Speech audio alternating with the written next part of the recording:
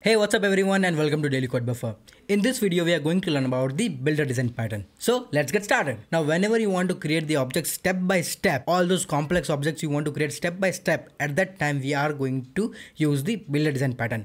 Builder design pattern is a part of creational design pattern so it will be used when you want to create the complex objects. So let's understand with one of the example here. So suppose you want to create the house. So this is a simple example that we are taking. Suppose we want to create the house. Now whenever we want to create the house what we need to create the houses okay? We need the walls we need windows we need rooms we need kitchen some stuffs okay? These are standard stuff that we need in a house okay? Now suppose i want to create a house that has a swimming pool as well. So i want to have a, another house. So you can see that i want to ha have one house which has walls which has windows rooms kitchen and swimming pool as well. And suppose someone tells me that i want a house which has more properties or more features as well. So suppose i want to have the house as well which has all the things uh, that is walls windows rooms kitchen. I don't want swimming pool but i want two parkings suppose right? So you can see that these are the different features. You can see that someone is asking that i want this particular thing i want this particular thing. So one thing we can do is okay we have the option okay to give okay. Either what we can do is whenever we are creating the object right of a house. So suppose if i'm creating the house object okay i have some properties. So suppose let me create a class house here. I have walls windows rooms kitchen. These are all the properties right? And what i can do is i can have the constructors here. So i can have the house constructor which is taking all these properties walls windows rooms kitchen and everything okay now someone comes and tell that okay i want swimming pool as well. But my constructor doesn't support it right? My object creation doesn't support that. It should have the swimming pool as well. So what i can do is i can have one more constructor. I can give house which is taking window walls rooms kitchen and swimming pool as well. Okay? So now you can see that my class have the capability to add the swimming pool as well. Now someone comes and tell okay i want parking as well. So what i will do is okay i will add one constructor. That will have the walls, windows, rooms, kitchens, swimming pool as well and parking as well. Okay, so you can see that we will end up with a lot of constructors here, right? To have the object creation based on the different representation of the same object. Okay, so you can see that this representation is different of object with this representation and the same with this representation. Okay? All the objects are house object only but the representation is different. What are part of that particular objects are different. So if you end up in this type of scenarios at that time we will use the builder design pattern. Now how builder design pattern will help us? So builder design pattern will help us in such a way that whatever the objects or whatever the properties or features we want to add we can assign those and it will help us to create the object of it. Okay? So if i create the house object okay? This is a class house. And what I will do I have all these properties okay? We have walls windows rooms kitchen. We have swimming pool. We have parking as well. Okay? Everything we have as a different features or different properties here. And what we will do is we will also provide one builder class. This builder class will be the inner class of the house class itself which will help to create the object. So rather than passing everything in a constructor itself what we will do is we will use the builder class to create the object. Okay? So what we'll do we will use house builder. We will create one class that is house builder. Okay? And within this house builder what we will do is we will pass all the things. Suppose if i want to add walls so we will add house builder dot walls. We'll have one methods to add walls. And we can add walls. How many walls we need? Suppose four walls. Okay? We have whatever the properties we need we can add. Okay? We can have one more method that is the windows. So you can see that we have the option to add windows suppose two windows. One more method we can add to add the swimming pool. Okay? One swimming pool. We have the method to add the parking as well. So we'll add one parking okay you can see that all these different methods are that. With those different methods we can assign things like what i want to have in the house. So you can see that this is just a part of the house builder and whatever the features you want to add everything you will be adding. And at the end we will have one method that is a build method.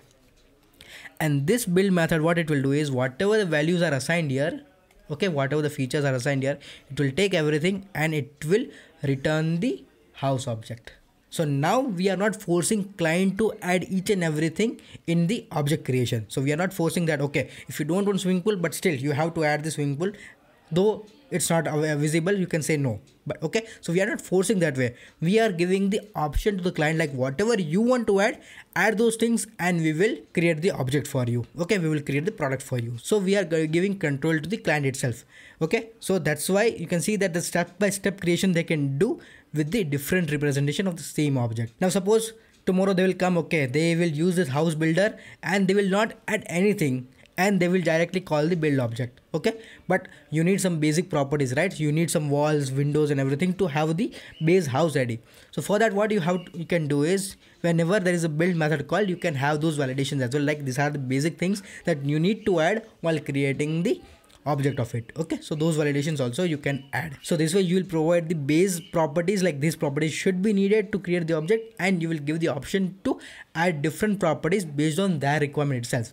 We are not forcing anything to the client like you have to add each and everything. Okay so this is the basics of the builder design pattern and where we have to use the builder design pattern. Now let's understand the same thing with the code. So in the code we have taken the example of a burger okay where you can create a burger with the different ingredients in it right? So let's understand that. So let me go to the example here. And you can see that i have created one burger object okay? So this is the burger class. And this burger class have these properties. You can see that it has uh, the size of the burger eggs extra cheese mayonnaise onion lettuce etc okay? So you can see that these are the properties that they can assign okay? User can use to create their own burger. Simple thing okay now you can see that this is a constructor here. Okay? Now you can see that this constructor is taking the burger builder as the input parameter and here I have mentioned that we, this is to initialize all the fields and to do the validations. So as I explained you earlier, like whatever the validations we have to do, like all these basic properties you need. If you want to create a burger, you need to have the bread itself, right? Without the bread, you cannot create the burger. So all those types of validations we can add here, like you need all these properties. If these properties are not there, you can throw the exception. So this is the constructor that we have created and you can see that this constructor is private okay? So user will not be able to call the constructor but the burger builder class that we are going to create that will use it. And as i explained you earlier whatever the builder class would be there that builder class will be creating the inner class itself directly. Okay?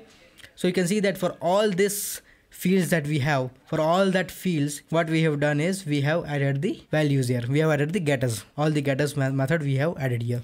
Simple thing no setters okay? Now you can see that we have created one public static class that is the burger builder. Okay? So this is the inner class inner static class. So we can directly use this. Now you can see that we within this class we have added the same properties here. Okay? You can see that these are the pro same properties that we have added in the uh, burger class itself. Because we will use that to set the burger properties. Now all these properties are there. Now you can see that to set all these properties we will be using one method that will return the burger builder itself. Okay? So to set the size you can see that we created a method that is public which is returning burger builder itself and it is taking the size and we are setting the size within this class and we are returning this object itself. We are returning the same object that is the burger builder.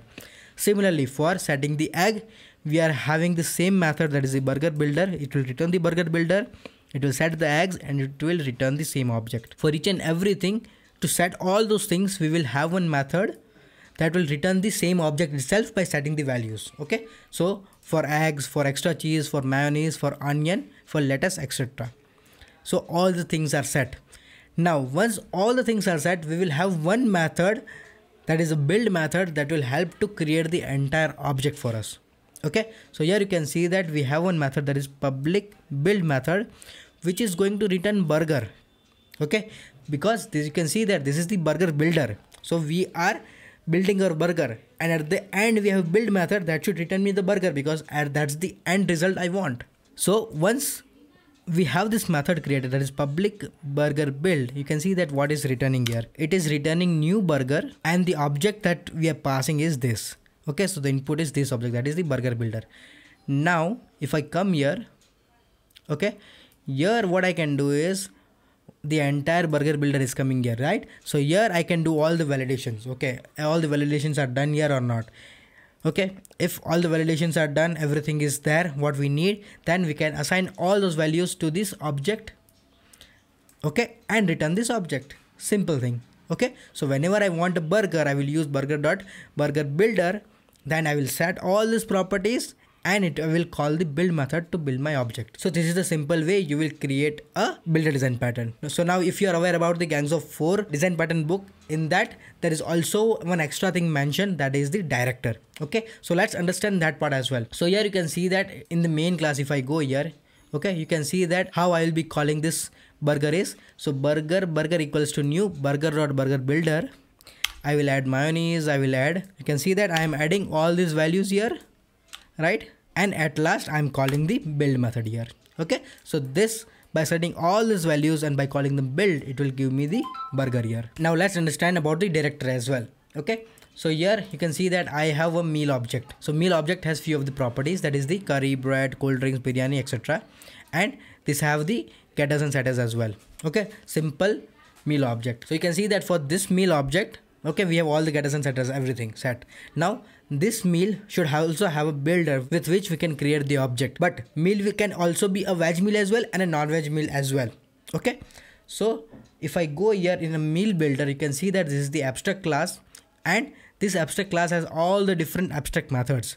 Okay? So you can see that it can have add biryani add bread add cold drink add curry method. Okay? All these methods are to add the basic things of a particular meal and it has a build method which will return the meal as well.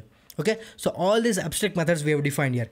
Now we can have the multiple classes that is the veg meal builder and a non-veg meal builder. That two class should implement this abstract methods. So based on that they can assign the values. Okay? So they can create the object. Either if we pass veg builder veg meal builder it should create the meal which is veg meal if we provide non-veg meal builder it should create a non-veg meal okay? So if i go to the veg meal builder you can see that veg meal builder is also extending the meal builder which we have already defined here. So once we extend this we have to add the implementation of all the abstract methods. So here you can see that we have implementation of all the abstract methods okay? But here one thing you can see that we have the object of a meal itself okay? Because from the veg builder we want to return the meal at the end right so that's why you can see that it's going to return the new meal okay from this constructor. Now all this method you can see that add biryani is adding the biryani that is veg biryani. Add bread is adding the naan. Cold drink it's adding okay curry it's adding. And you can see it has a build method which will return the meal object. Similarly if you go to the non-veg meal builder we have the same thing. Non-veg meal builder is also extending the meal builder and it has the meal object and it is going to have all the methods similar to what we added in the veg meal but the values would be different. Okay? So you can see that now you have two builders available. That is the veg meal builder and a non-veg meal builder. Now as i have two different types of meal created that is a veg meal and a non-veg meal whenever any customer asks okay i want a veg meal so by default i should have something that goes based on the value veg and gets all the veg item only. So it will create each and everything it will add each and everything in a particular object and it will return me. If someone says that i want non-veg meal okay? It will add all the non-veg items and it will create a meal and it will give me. That particular thing what i'm talking about that's called a director. So that director will take the input okay? And based on that input it will go call a particular builder and that builder will return the particular meal. Similarly if i ask the director that i want the non-veg meal it will go to the non-veg builder. It non-veg builder knows that what we need to add and it will add everything and it will give me the object okay? So that's the job of the director here. So if i go to the meal director here you can see that meal director has the object of a meal builder.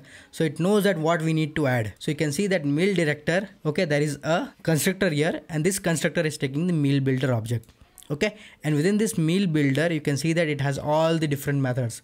It is calling all the methods. Add biryani add bread curry cold drinks everything. And at the end it is calling the meal builder dot build method. So whenever I will call meal director here and I will pass the proper builder here. Suppose in the meal director, if I pass veg builder, it will call all the methods of a veg builder and it will create the meal which is a veg meal. If I pass the non-veg builder, it will add a non-veg items and it will give me the non-veg meal. Okay, so you can see that that's the part of the director here.